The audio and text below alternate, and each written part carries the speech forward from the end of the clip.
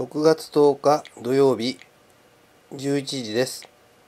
今日の昼はパンピザ2種類とオクラのおひたしきゅうりのサラダめかぶ気仙沼で買った赤ワインです。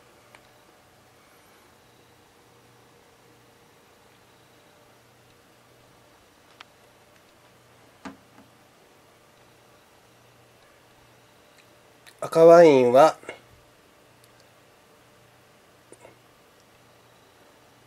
酒造のワインで清酒酵母仕込みの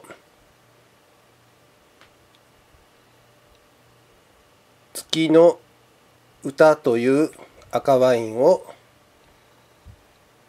これから飲みます。6月10日土曜日。午後6時40分過ぎです。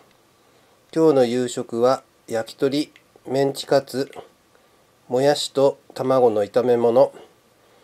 大根と人参と揚げかまぼこの煮物。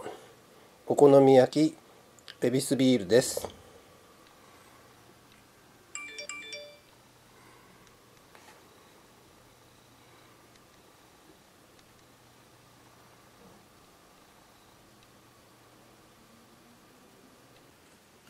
6月11日日曜日朝6時過ぎです。